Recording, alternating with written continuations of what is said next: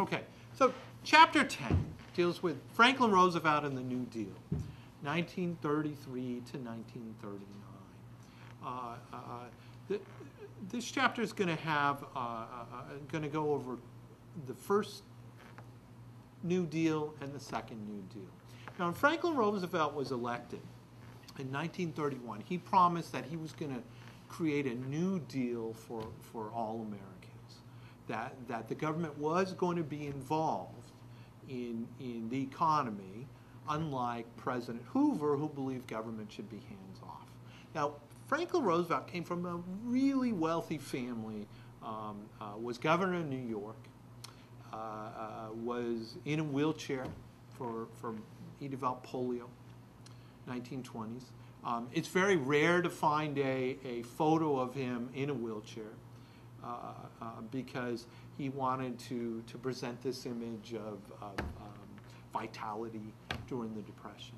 Um, um, and again, there was no TV during this time. So, so the newspapers went along with this. Um, uh, you know, would only photograph, if you see photos of him, he's normally sitting down.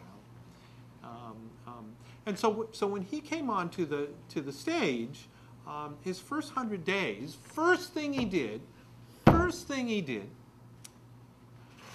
was he repealed prohibition. He brought back alcohol. Ah, oh, there was much rejoicing. Um, one of the things to know about, about the prohibition movement is it didn't outlaw all alcohol.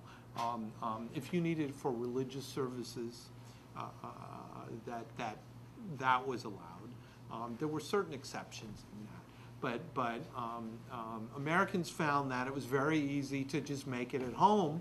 So there was a huge underground economy um, um dealing with the sale of alcohol.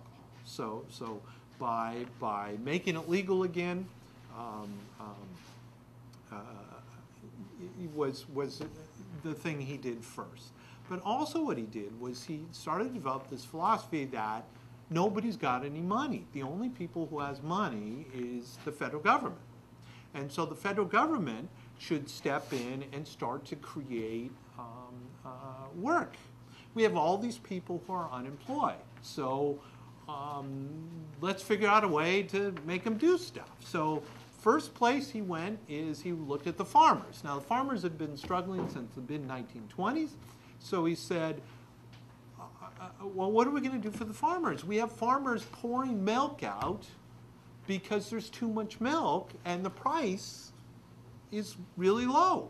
And the, and the farmers are trying to create shortages by pouring milk. So I have people pouring milk out in the country, and in the city I have people starving. So we need to fix that. So he said, why don't we pay people not to grow food? Ah, what a great idea. So those were called subsidy payments. And so it was trying to get a handle on, you know, trying to, uh, on how much food was grown in the country.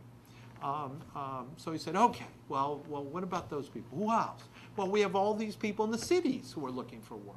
So why don't we create some projects uh, uh throughout the country um, um, and, and let's not just like, like build the road, but let's create designs around it. So you get the architects and the engineers involved, um, uh, and, and several places uh, around Los Angeles, like the East LA uh, Coliseum was built during that time. The, the, the uh, LA River, uh, the aqueduct system.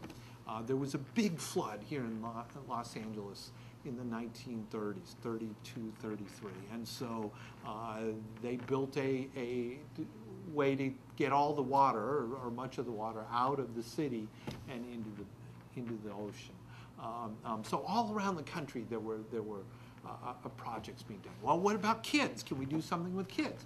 Yeah, let's let's send them up to the forest, and we'll have them you like like work on parks and, and and build trails and make benches and stuff like that. Well, what about the artists? What should we do with them? Well, let's hire band people and, and, and they can do summer concerts and we'll have playwrights and, and musicians and um, um, you know, and, and let's have them do stuff. And so, so um, it was this idea that, that um, uh, you know, that, that government was responsible for the welfare of its citizens. Um, a couple things that were really important that uh, Franklin Roosevelt did that I just want to note. note.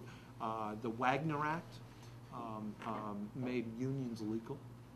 Um, uh, Before that, you would have strikes, and, and the government would call out the Army or National Guard and beat some heads and stuff like that. Um, um, But in, in, in, the 1930s, the Wagner Act became the law of the land and unions were legalized. Um, Also, uh, what are we going to do about sort of widows and orphans? Uh, Parents die, husband, eh, you know, is the worker, dies. What about the people left behind? And so the Social Security Act was also started during this time to try to create a safety net uh, uh, um, for, for widows and orphans. Um, That would later become expanded in the 1960s under, under uh, Lyndon Johnson. But Franklin Roosevelt um, um, was, was an extraordinary man, served uh, as president, longest uh, uh, serving president uh, uh, from 1933 up to his death in 1945. Uh, They made a constitutional amendment about him because he ran and won four times, and they said after that, um, um, you can only serve two terms. So um, that's chapter 10, and I hope you enjoy chapter